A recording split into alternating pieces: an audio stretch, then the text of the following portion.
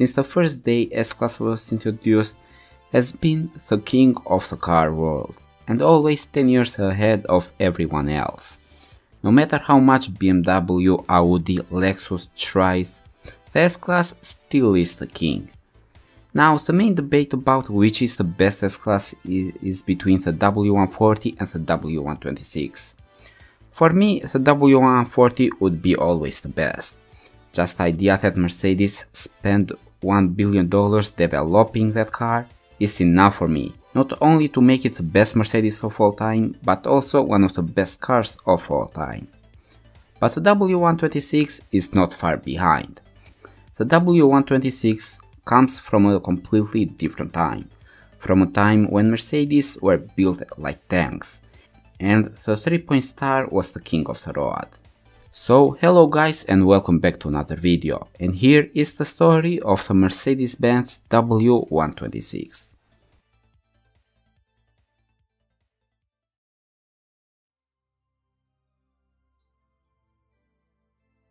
In order to talk about the W126, first we should talk about the history of the S-Class name.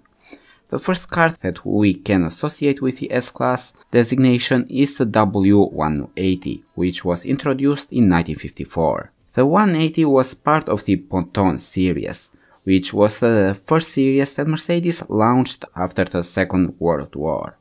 This is probably the most important generation of Mercedes, since this is the generation that created the Mercedes identity.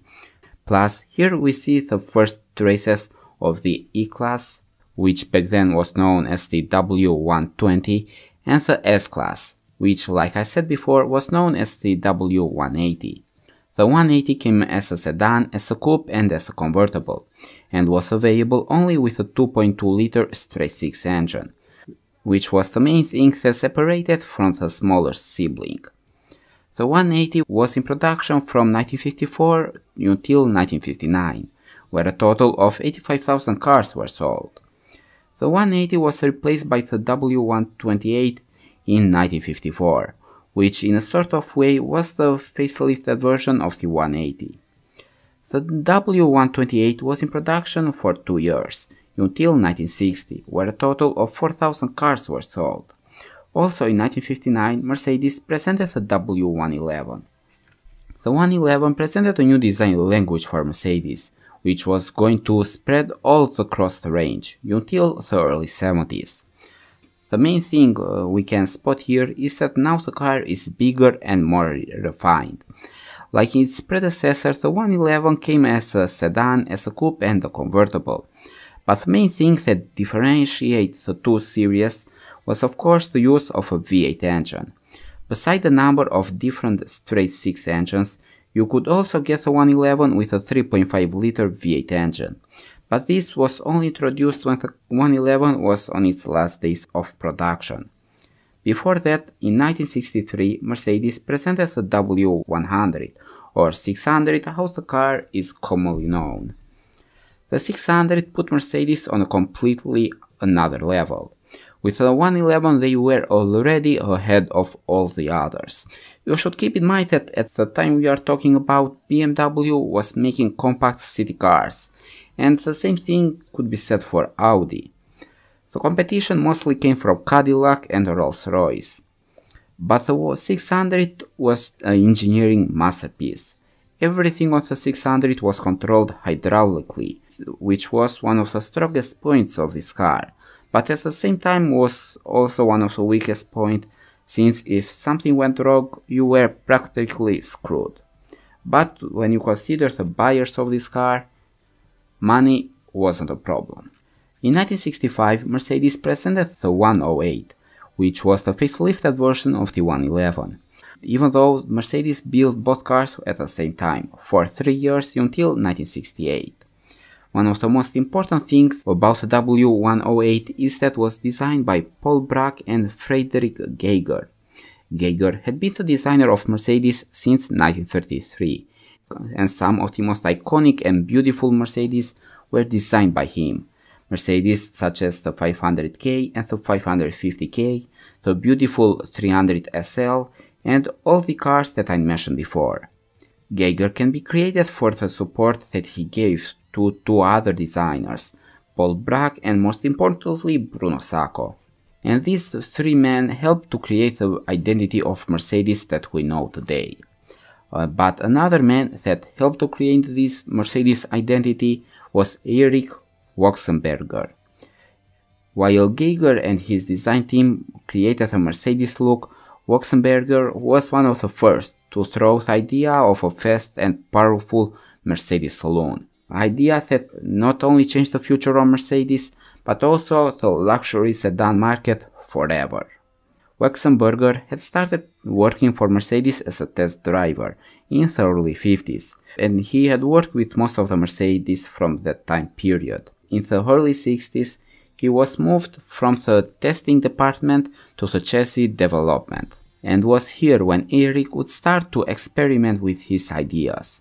All the Mercedes models at the time, besides the Big 600, were using 6-cylinder engines, so performance wasn't very important for Mercedes. He proposed the idea of using the 6.3 liter V8 engine of the 600 on the smaller cars, but his idea wasn't approved. Mercedes, being quite conservative back then, saw no reason on building such a car. But this didn't stop Waxenberger. Secretly, Eric started working on his idea, and he managed to build a 230 SL with a 6.3 liter V8. The power was at around 250 horsepower, which might not sound like a lot by today's standards, since most of the hot hatchbacks have more than that nowadays, but this was enough to reach 100 in 6.5 seconds and to reach a top speed of 220 km per hour. One of the most interesting stories about this car is when Rudolf Uhlenhaut took the car for a drive. Uhlenhaut was responsible for most of the Mercedes racing cars that had been introduced until then, so he knew one or two things about fast cars. Uhlenhaut was amazed by the speed of the car, which from outside looked like a completely normal Mercedes SEL. And on the first uh, red light, he opened the bonnet to see what actually was under it. And with a guy like Rudolf Uhlenhaut uh, supporting the idea of a fast Mercedes saloon, there was no other choice beside entering the car into production. At, at the 1968 Geneva Motor Show, the Mercedes-Benz 300 SEL 6.3 was presented. The fact that there was no other car like it helped the 6.3 a lot, and Mercedes managed to sell more than 6500 examples of it, from 1968 until 1972. But the presentation of a fast big Mercedes inspired two Mercedes engineers to create something really special. These two men were Hans Werner Aufrecht and Erhard Melcher, which in 1967, after leaving Mercedes, decided to found AMG Motorenbau und Entwicklungsgesellschaft, and their main goal was to make Mercedes go even faster. And the first car that came out of this new company was the famous Red Pig. AMG took the already crazy 300 SEL 6.3 and bored out the engine to 6.8 liters, something that increased the power output to 420 horsepower. This machine was beyond crazy and ridiculous. Even those few European exotics that existed back then didn't come close to the power that the Red Pig had. AMG tried to reduce the weight of the car a bit by removing the bumpers and by adding aluminum doors. But that's all what they did. Since it was a Mercedes, AMG kept the luxury goodies of the interior, like a full leather seat and uh, all the wooden trims. The AMG entered the car at the 1971 24 hour of Spa-Francorchamps, where most of the people laughed at it, and was here where the car got the nickname Red Pig, because of the bright red color and pig because of its looks. But you should never judge a book by its cover. The Red Pig started 5th on the grid, and managed to have a pretty good race with staying on the top places most of the time. In the end, the Red Pig finished first on its class and second overall. The end result might have been a bit different, but AMG had to do lots of pit stops in order to fuel this hungry beast. The 108 remained in production until 1972, when was replaced by the all-new W116. The 116 featured a completely new design language, a design style which would be used until the turn of the millennium. The 116, even though is a bit forgotten on the S-Class series, was definitely a groundbreaking car for Mercedes, and this for a number of reasons. First was the design.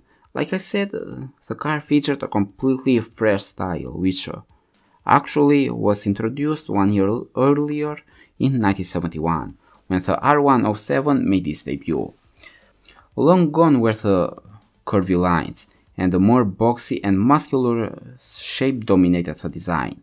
Second, the W116 was the first Mercedes to be called S-Class, which was an abbreviation of Sonderklasse, which means special class. Third, the W116 became one of the first Mercedes to use the new range of diesel engines. At the time, most of the European car makers didn't offer diesel at all, but the advancements on the technology made the diesel a great choice, and sometimes even a better choice than petrol. Also in 1978, the W116 became the first car to come with an ABS system. But the number one reason that set the W116 apart from the previous cars was the engine choice, since the W116 was available with three different V8 engines, with a 3.5 liter engine, with a 4.5 liter one, and with a mighty 6.9 liter.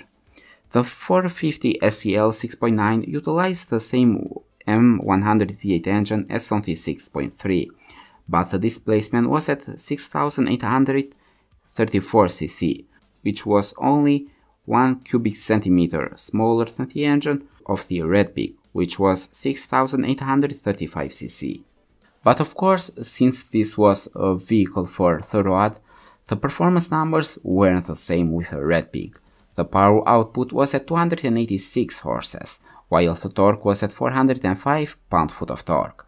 The top speed was at 225 km per hour, while the acceleration time at 7.1 second.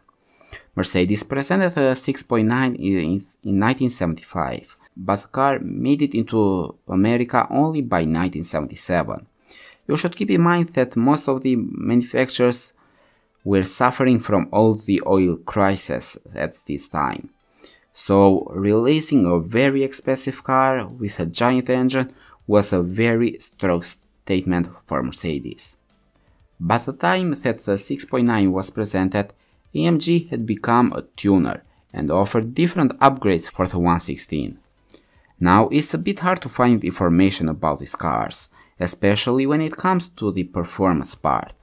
But here we can see the body kits which would inspire lots of tuners, the black grille and the first 5-spoke AMG wheels, with a black inner part and the silver outer rim. Mercedes sold a total of 7,380 6.9s, which for a car of its type, which was in production for only 6 years, is not a bad number at all while more than 470,000 116s were sold worldwide, until the car was replaced in 1980 by the W116. But that's a story for the second part. So guys, thank you for watching and see you next time.